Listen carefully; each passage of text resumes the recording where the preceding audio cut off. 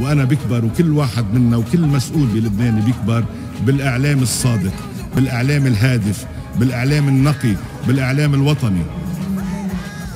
كلنا لبنانيين كلنا لبنانيين. ما حدا يزايد علينا. يعني نحن منا جايين لا من خلفيات ميليشياوية حتى نقمع الإعلام ولا من خلفيات تانية. ما في عنا هالأفكار. بالعكس نحن اشتغلنا بوسائل إعلام كبيرة كتير بالغرب. وبنعرف معنى الحرية وبنعرف حدود الحرية. يعني ما في حرية هيك لا متناهية ما في حرية يعني تتعدى على الناس أو تتعدى على وطن. لأنه أحيانا بتلاقي في تعدي على الوطن.